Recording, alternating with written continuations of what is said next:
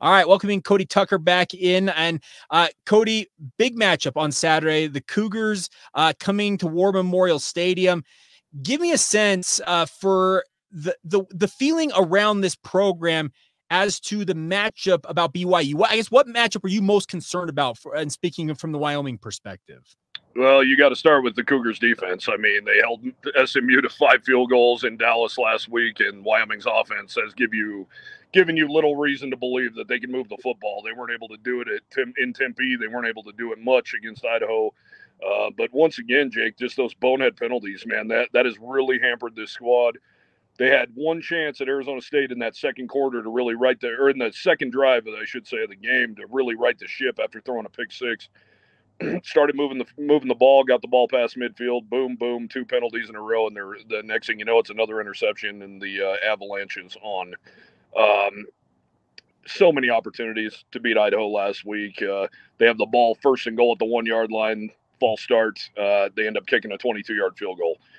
That can't happen, and uh, that has really been a huge, huge issue so far. Um, I, I want to say the Cowboys had 35 penalties all of last season. you know, they already at 16. Yeah. You can't do it, man. You can't have it. So uh, the defense for BYU is definitely um, something that everybody has their mind on. You mentioned a little earlier that, you know, Caden Barnett gave up three sacks. To his credit, spoke with him this week. He absolutely uh, owned it. Mm-hmm. Uh, he he knew that James Newby, the edge rusher for Idaho, he knew that Keyshawn was uh, had the snap count down, and on one play, even Jake, he blew around the edge and hammered Evan Svoboda. He was offside, but they didn't blow the whistle in time, and he absolutely dropped Evan on his wallet. And uh, you know, so technically, uh, you know, not a fourth sack, but uh, you know, the damage was done, in, injury to insult to injury, and uh, yeah, man, I just I think BYU's defense is, you know, around here everybody jokes about BYU's age, of course, because they're a lot older than Wyoming, uh, to say the least. It was amazing in 2022. Uh, before that game in Provo, you looked and there were six guys that actually played against Wyoming in the 2016 Poinsettia Bowl. Uh, so uh, much older than Wyoming, much bigger, much stronger, much faster in some cases, and uh, that is definitely a concern for Evan Svoboda, who uh, you know, aside from Air Force's quarterback, which, as your listeners know, Air Force runs an option. Uh, he's the only one saving from Evan, saving Evan from being at the bottom of the barrel in almost every single passing category in the country.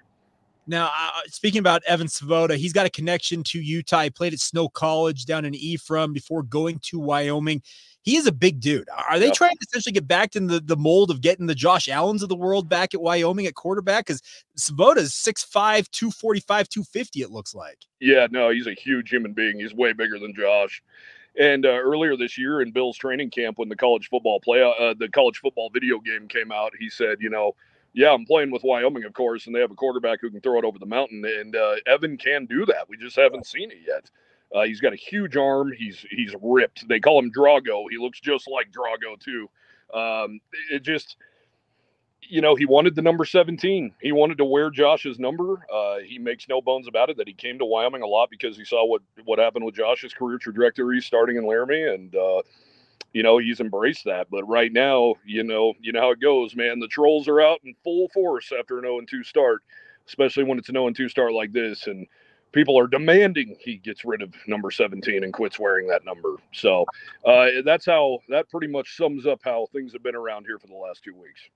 Now you mentioned Harrison Waylee has not been available this season. I he was an electric running back last year, a Northern Illinois transfer, I recall correctly. And yep. How much his his his his not being available affected this offense? you wouldn't think as much because Wyoming's ran a power game for so long under Craig Bohl, and that was going to continue under under Jay Sawvel. But you can't deny it, man. He he had a 65 yard touchdown run against Texas last year in Austin. He outraced their secondary with ease. I mean, so not many people can do that. So he's a really special back.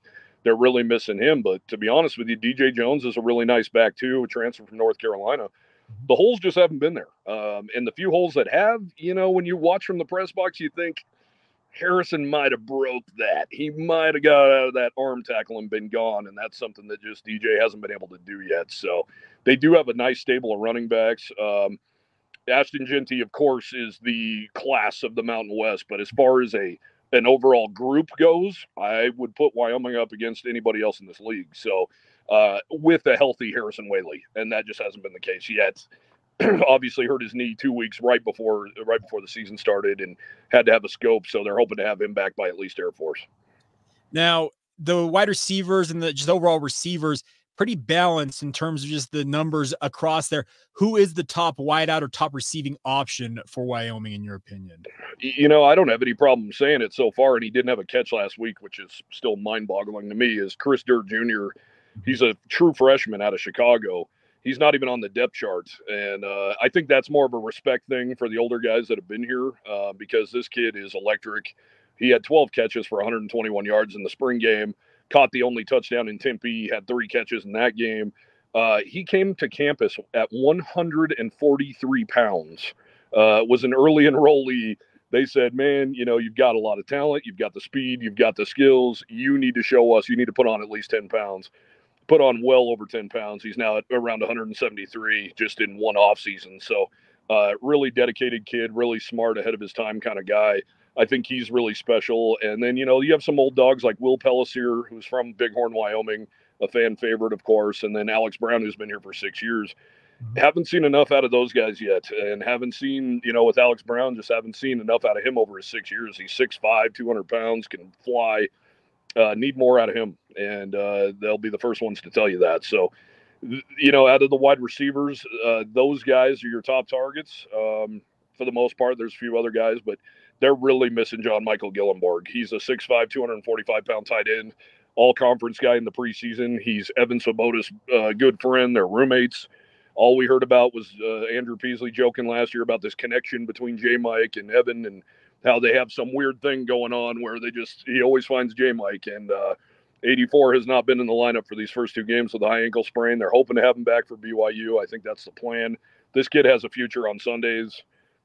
you can't downplay really how much they've missed him, but you know, uh, Evan's been so off target and he hasn't had a lot of time in in some points in games and just has not looked comfortable. And you know, you think if J Mike's in there, that's going to help a lot, but he's just he's got to get better. He's got to get his reads have to be better. His footwork has to be better. He just doesn't look like he's having fun playing football and in backyard football, like say Sam Leavitt from Arizona State, who was making his first start, and he looked more than comfortable uh, Idaho started their backup quarterback last week, Jack Wagner. He started the game eight for eight, um, and that's to me something the Cowboys need to do. They need to get Evan some easy throws early on, and then let him at it.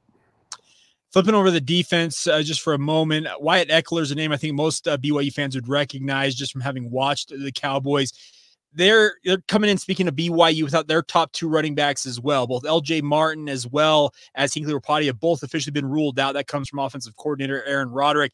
What's the confidence level for Wyoming going up against a, uh, let's be honest, a turnover prone Jake Retzlaff at quarterback for BYU?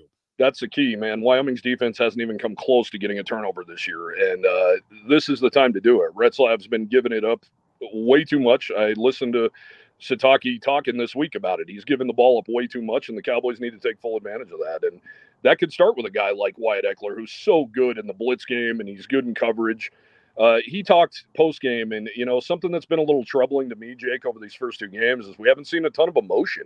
Okay. Uh, we haven't seen the look on guys' faces that I just lost to Idaho at home, and that's uh, that's disturbing. And we didn't show up in Tempe. I'm not seeing that kind of emotion that maybe maybe I'm crazy. I'd be the one throwing helmets and being in the third row, but hmm. uh you know, he's uh he showed some emotion after this game. He hit the podium, he raised his voice, he said, We're not even close to being what we can be. They have nine starters returning on that side of the ball. And uh we saw glimpses of what they can do. And I hate to keep prefacing it this way, Jake, but it's against an FCS team at home uh, with a backup quarterback. Uh, they went to sleep for 10 minutes in the first half of that game and let Idaho take control. And second half held them off the scoreboard. They Idaho didn't do much of anything, but Jay will be the first to tell you they went conservative because they're an FCS team on the road and they're trying to milk that clock and get out of there with a W. And that's exactly what they did. Now, uh, do you expect them because obviously BYU their, their top two running backs? Do you expect Wyoming to try and just sell out and make it so it's, it's Jake Retzlaff's got to win this game with his arm essentially, and essentially hope that he is turnover prone? I would. I absolutely would, especially with their backups. And you know, and I'm sure they have a I'm sure their third string running backs just just fine. I think actually he's the guy who toasted Wyoming in 2022, if I remember correctly. It is Miles so, Davis who had a career high that day. Yeah, yeah, sure. yeah, yeah, exactly. So, and we all know BYU's offensive line probably averages 700 pounds apiece, and they're you know 35 years old. So you're going up against men. I mean, those men are going to move people. And uh, BYU's always been known to have the big, nasty, big, mean, you know, uh, big fronts, and uh, that'll be nothing new. So, um, yeah, that kid went nuts in, in 2022 in LaVell Edwards Stadium. I believe even their their tight end went nuts that day as well.